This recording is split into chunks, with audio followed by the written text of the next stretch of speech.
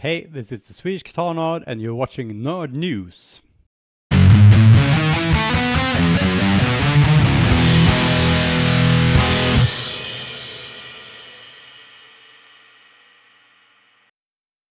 In today's Nerd News, I'm going to take a look at what's happening in the practice amp market at the moment. Uh, and when you're thinking practice amps, well, that's what you use at home, not necessarily with other people, is yourself either learning to start playing guitar or even, yeah, learning some things that you have to practice on between the times when you're actually playing with other people. So it's generally made for using uh, in your home at uh, modest volumes. And when I started out back in the 1800s, uh, then uh, there was not that much to choose from, and the, the things you had to choose from weren't really that good. So, like many others, I started out with a Gorilla amp, and they were bad. Oh, so bad.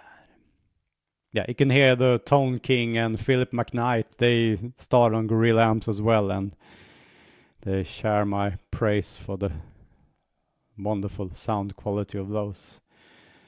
Well, that's all changed. Now the practice amps that you use at home and even the smallest ones sound amazing. So I'm gonna have a few examples today.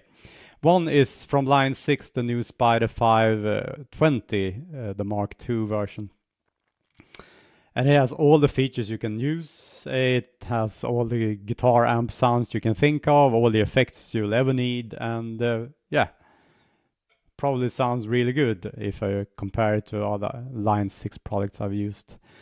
Uh, it has a 8-inch speaker that's rather small and it has a tweeter as well for the treble. So it's actually a full range speaker, which is good when you're playing music that's not your guitar. Because if you're playing regular music or recorded music with a full band, uh, I don't know, from iTunes or Spotify, uh, into a regular guitar amp, it doesn't really sound that good because it isn't made for that frequency range. But the Line 6 have solved this by having this arrangement where it's a bigger speaker and then a tweeter.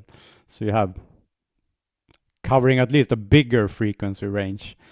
This will be a problem if you are intending to use this live, and I don't see why you couldn't because uh, you can mic this and then it doesn't doesn't have to be loud at all and uh, the thing is then you to get the full sound it really doesn't work because it's divided between the the big speaker and the small one. So they have changed this with the mark ii version of the uh, Spider V uh, so now you can actually change the settings and have it all go through the big speaker. So then it's possible to mic it. But I don't think you can use it uh, in a rehearsal situation, if least at least if you have a loud drummer, and you probably will. So then you might not be able to use it. One feature that's unique for this one, I think, is that it has a small USB out and it's readily made to be used with mobile devices, both iOS and Android. And that's a new thing and that seems to be a thing that's coming because i covered uh, covered the Mooer g150 last week and that had that as well. So it seems to be a new thing especially using this otg i think it's usb on the go for android devices it seems to be the thing that's coming. So yeah. And of course you can use it with anything else that has a regular usb in. So yeah your computer or anything. And then you can both record directly through it and uh, change the settings in a more uh, better laid out graphical environment. So that's the line 6, uh, Spider V 20. On the left side of the spectrum, I want to cover another guitar amp that caught my eye. And that's the Blackstar LT Echo 10. Uh, and that's when the line 6 Spider V is a very standardized model for today. You have all the regular things. Well, the Blackstar is something different. It has three controls. Uh, it has it has a volume control, an ISF control, and an echo control. And yeah, what else would you need? Um, so yeah, what you can use it for is turn up or turn down the volume. There is, if you want some harder not clean sounds. You can press the OD button, that's overdrive.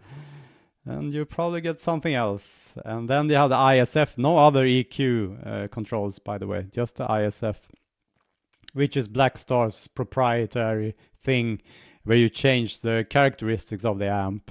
So, uh, yeah, depending on where you have it, it's a softer sound or it's a harder sound. That's the words they're using, or American and English sounds. And finally, you have the controls for the delay, and you can turn that on and off as well if you don't need it. And no other effects, just the echo. And it's rather weird. And the speakers as well, it's two three inch speakers. What's that? Like this? I don't know if it's used in stereo because I haven't tried it and it doesn't say anywhere. So it's a really tiny one. But it seems like a fun thing, and I think uh, with less controls, you're less probable to make bad decisions or make a horrible sound. All you metal sound pedal users.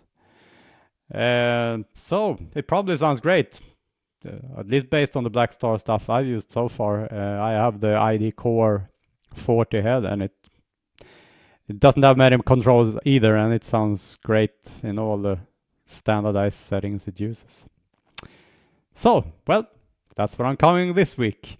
Uh, if you have any other products or if you're from a company that want your product in this uh, format, the Nerd News, well, feel free to contact me on this address. And yeah, leave your comments if you have something to say. And who knows what I'll be talking about next week, but see you soon.